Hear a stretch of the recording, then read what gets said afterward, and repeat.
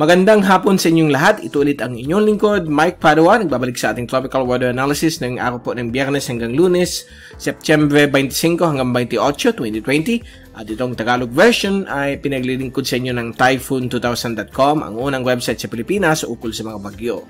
Umpisa natin ang update, itong latest GovSat. Simula na yung araw po na, na ito ng uh, biyernes hanggang Sabado bukas. Nanatili po ang uh, parehong weather system sa ating bansa for the past 3 days at yun po yung shallow LPA na umakyat ng bagya at lumalapit po sa may silangan bagay po ng Northern Luzon. At nagbibigay po ng mga maulap na papuwirin na may mga lalakas po o mga severe thunderstorms lalo na po sa may eastern sections of Northern and Central Luzon at ibang bahagi po ng Luzon kasama po ang Metro Manila. At yan po ay uh, dahil po sa kanyang trough at ito pong LPA ay uh, kasalukuyang quasi-stationary but sa susunod na 24 oras hanggang 48 oras o sa hanggang sa, sa linggo, inaasahan po itong uh, malulusaw uh, habang ito ay unti-unting gagalaw west-northwest. Hindi po ito inaasahan maging bagyo but babantayin po natin ito at uh, titingnan natin for further development kasi ayon sa computer models walang development po na mangyayari Based na po yan sa European model at yung American model. Samantala, yung uh, may hinang hangin mula sa kanluran at timog uh, kanluran o yung mahinang habagat ay uh, mananatili pong makaka-apekto sa malaking bahagi po ng kabisayaan, uh, Mimocopa at Kabikulan. Magbibigay po ito ng medyo maulap na pabuwirin na may kalat-kalat na mga pag-ulan, pagkulog at pagkidlat. Isolated po ito uh, hiwa-hiwalay at hindi po siya widespread sa mga areas po ng uh, Mimaropa at Visayas, ganoon din po sa Kabikulan. Samantala po, ang ibang bahagi po ng ating uh, bansa, lalo na po sa Mindanao, ay magiging katamtaman po ang lagay ng panahon. Subalit uh, na yung hapon, may mga inasan po rin po mga uh, kalat-kalat na mga pag-ulan, pagkulog at pagkidlat.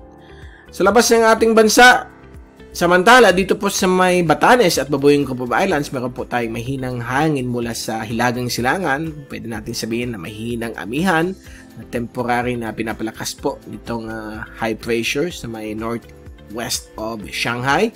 So magbibigay rin po ito ng mga maulap na papawirin na may uh, hangin mula sa Hilagang Silangan at mga kalat-kalat na pag-ulan, pagkulog at pagkidlat sa bahagi po ng Batanes at Babuing Cubao Islands. Samantala, meron po tayo tayong frontal system dito. Itong isang L dito sa may southeast of Tokyo, yan po yung dating bagyong si Marse o si Dolphin na naging part na po siya ng frontal system. Kaya kita niyo may cold front na kagad dito sa may bahagi po ng Okinawa or Ryukyu Islands. Sa labas ng ating bansa, wala pa rin po tayong nakitang uh, posibleng mag-develop bilang bagyo. Although meron po tayong dalawang moderate na LPA, si 96W at 97W, pareho po silang nasa lower chances na mag-develop sa susunod na 24 oras. Pero pagdating ng mga ilang araw, babantayin po natin ito. May mga ilang models na posibleng mag-develop po either of these two. So, hintayin po natin ang updates next week. So, yan po ating graph set. Tingnan natin yung fast animation. Yan, yan po, ginakita po natin yung trough ni shallow LPA affecting Luzon. Yung mahinang habagat naman po sa may uh, Kabisayan, Mimoropa at uh, Bicol Region. Ito naman po yung uh, mahinang amihan o mahinang, ha, mahinang hangin mula sa Ilagang Silangan. Apektado po ang uh, Batanes. So far, mga maliliit lamang po yung mga LPA, nothing to worry. At ito yung zoom in sa animation. So kitang kita po natin ang mga, mga, mga thunderstorms na nabubuo sa mga oras na ito sa malaking bagay po ng Luzon, kasama po ang Kabikulan, Although sa Kabikulan medyo humihina po. Uh, meron pa rin sa may western sections ng Kabikulan. At dito rin po sa may Mindoro, Palawan, Western Palawan, lalong-lalo na.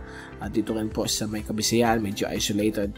Mindanao, all clear pa rin po, pero mamayang ha, hapon o gabi may mga isolated thunderstorms na posibleng mag-form at magbigay ng mga paulan. So, yan po ang ating Zoom satellite animation. Ito naman po yung ating windy.com wind uh, train forecast mula sa ECMWF for the next 3 days. So bukas ng hapon, Sabado, between 2 to 5 p.m., inaasahan pa rin po mga isolated to scattered rain showers and thunderstorms sa malaking bahagi po ng uh, Luzon, lalo na po sa Northern Luzon. Samantala po, katamtama naman po na thunderstorms sa may Kabisayaan at dito rin po sa Palawan at Mindanao. Sa Kabikulan ay medyo mababa po ang chance na magkaroon ng mga thunderstorms so posibleng umiinit bukas. Uh, dito rin po sa may uh, Metro Manila, nasa low to moderate po ang chances na magkaroon po ng mga thunderstorms bukas po ng hapon Sabado. Pagdating naman po ng linggo, between 2 to 5 p.m., inaasahan pa rin po mga localized thunderstorms sa malaking bagay po ng Luzon, kasama po ang Metro Manila, nasa moderate to high. Ganoon din po sa may uh, Palawan, may, uh, Mindoro area, Visayas, at Mindanao. Samantala ang Gabikulan ay medyo nagkaroon po ng uh, break o nagpahinga mga thunderstorms. Subalit meron pang maliit na chance baka mag magkaroon ng mga maliliit na thunderstorms. So abangan mo lang po ninyo pagdating ng hapon since nasa La Nina climate na po tayo. Pagdating naman po ng uh, lunes, ito po yung third forecast, third day forecast. Okay? Yan po, halos buong bagay po ng ating bansa except for Palawan ay nasa moderate to higher chances ng afternoon or evening thunderstorms. Lalo na po dito sa may Central Luzon, Mindoro, uh, Negros area, Cebu and Panay at dito rin po sa may malaking bagay po ng Mindanao. Bicol, nasa moderate chances po ang mga thunderstorms at Eastern Visayas while lower chances po ang Palawan. Okay, so dyan po nagtatapos ang ating tropical weather analysis na yung hapon po ng biyernes hanggang lunes na po ito. At babalik ulit tayo sa susunod na linggo upang ibigay sa inyo ang pinaka-latest sa ating panahon dito sa bansang Pilipinas. Mula sa Typhoon 2000, ito si Mike Pado nagpapaalam. Mag-ingat po tayo lahat. Happy weekend po sa inyong lahat. Uh, be hashtag weatherwiser at maraming salamat po sa pag-antabay at pag-panood ninyo sa aming weather channel.